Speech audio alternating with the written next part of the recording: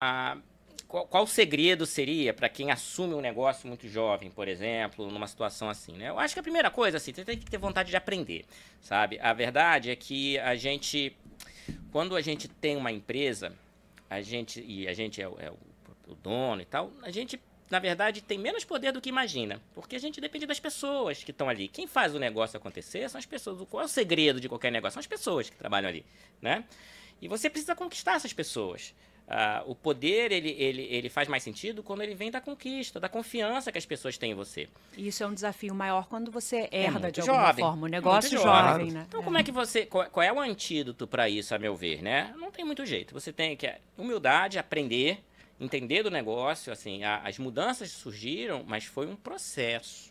Ah, não foi algo que eu cheguei com 21 anos e vamos mudar. Não é isso. Não é isso.